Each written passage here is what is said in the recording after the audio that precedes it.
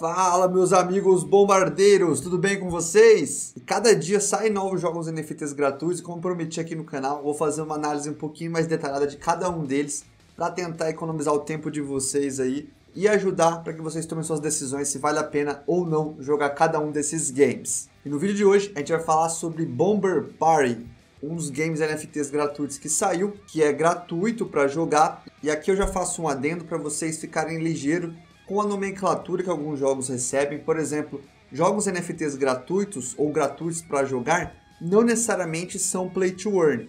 Eu quero dizer com isso que ele possibilita que você jogue gratuitamente, mas nem sempre que você ganhe gratuitamente. Entende o que eu quero dizer? Então, muitos e mais muitos jogos estão ganhando fama por usar o termo free to play, você pode jogar, mas não necessariamente vai permitir que você ali arrecade tokens, você ganhe dinheiro, ganhe NFTs, esse tipo de coisa. Então fique esperto com a nomenclatura que cada jogo ganha aí para você não cair num bait. Então sem enrolar muito mais, bora conferir Bomber Party? Preparados? Então partiu!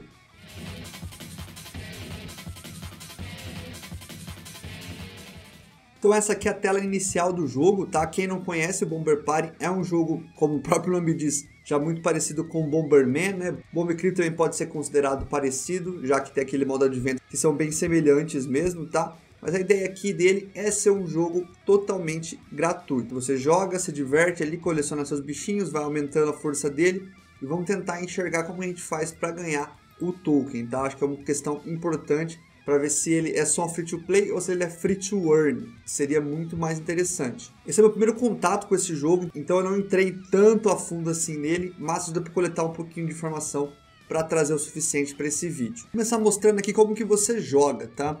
Você vai ter que clicar em Marketplace e aí você vai ser direcionado para essa tela, tá? Você vai conectar a sua carteira da MetaMask no game, tá? É importante dizer que ele roda na Factory Chain, é a rede que o PVU rodava, então não é tão conhecida assim. A moeda que usa para fazer as transações é o FAC.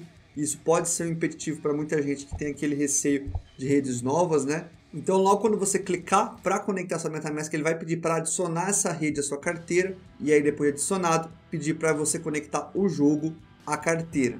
Feito isso, você vai vir em My Account e aqui vai estar o My QR Code, tá? Isso, isso aqui serve para você fazer o login dentro do game. Existem versões para Windows e também para Android. Você escolhe a plataforma que melhor se adequa, tá? Depois de feito o download, baixado e instalado, se for pelo celular, você vai usar o QR Code aqui, vai escanear e já vai entrar. E se for pelo Windows, você vai fazer o download da imagem do QR Code e vai fazer o upload dentro do jogo, beleza?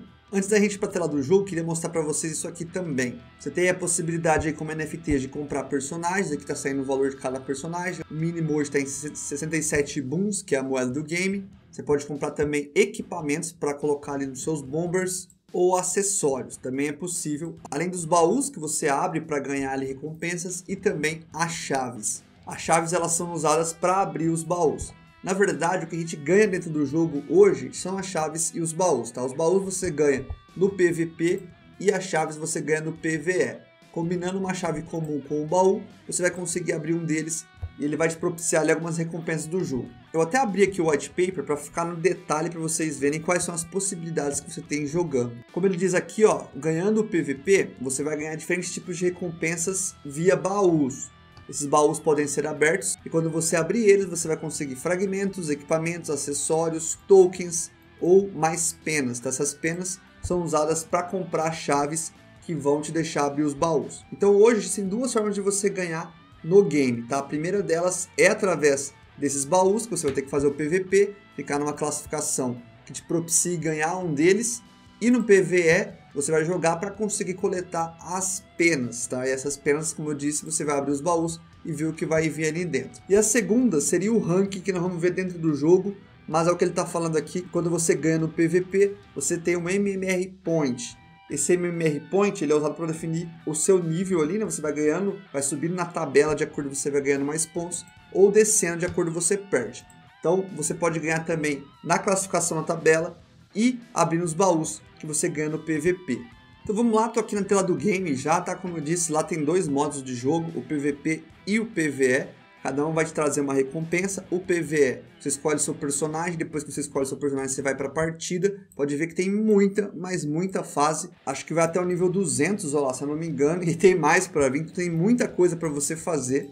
Você pode reparar que aqui embaixo tem a recompensa da pena. Cada vez que você vai cumprindo o nível, você vai conseguindo a pena. Eu não sei se mais para frente ou nos bosses aqui as recompensas mudam. Imagino que sim, pelo menos o valor delas. Mas quem já conseguiu aí percorrer tudo isso aqui e teve algum resultado, fala aí nos comentários quero saber também. O outro modo é o modo PVP, que você vai jogar e ganhar os baús. Eu não vou fazer uma partida aqui porque ela demora um pouquinho, ela leva 10 minutos. E além disso, tá demorando um pouquinho para achar também, mas depois eu entro no PV e a gente dá uma olhadinha como que funciona. Além disso, as tabelas aqui de recompensas, né?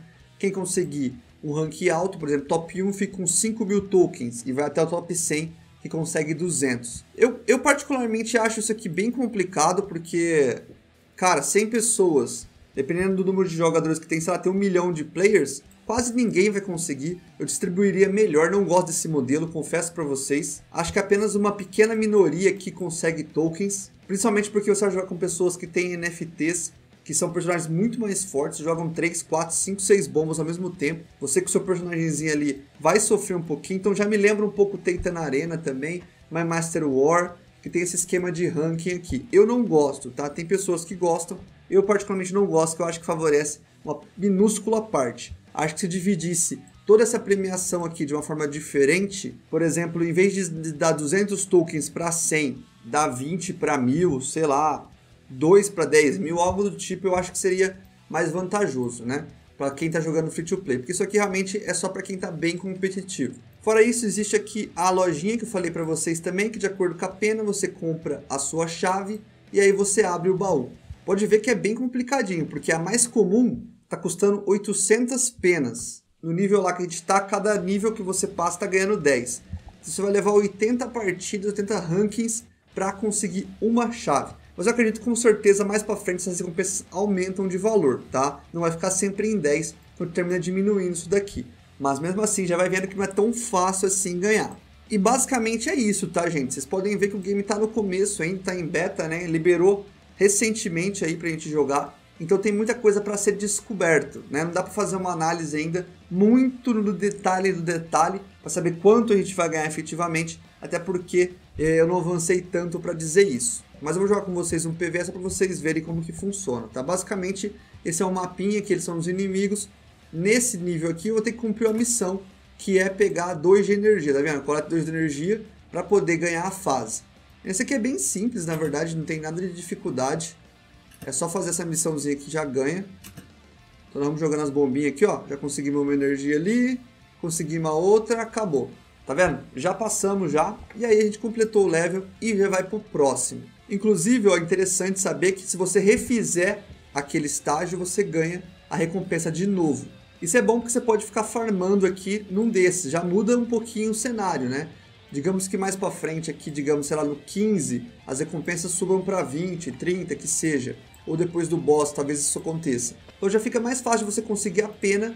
E aí com a pena, você vir aqui e comprar novas chaves, tá? E depois vai ter que fazer o PVP para conseguir os baús. Então assim, turma, primeiro eu queria trazer esse vídeo rápido, porque o game tá aí, você viu, você viu que já tem um rank rolando, então é interessante que você comece o quanto antes, caso você queira jogar o game a mais longo prazo. Só que ainda alguns detalhes que eu gostaria de estudar um pouco mais, jogar por um tempo considerável para conseguir trazer informação mais concreta. Mas no geral vocês viram que é possível jogar, né? De graça, isso é um fato. Agora vamos analisar se o free to earn dele funciona, né? Eu ainda não tenho esse detalhe, mas se você tiver, deixa aqui nos comentários a gente vai junto analisar esse projeto e talvez trazer um segundo vídeo aí compilando de uma forma mais macro se vale realmente a pena.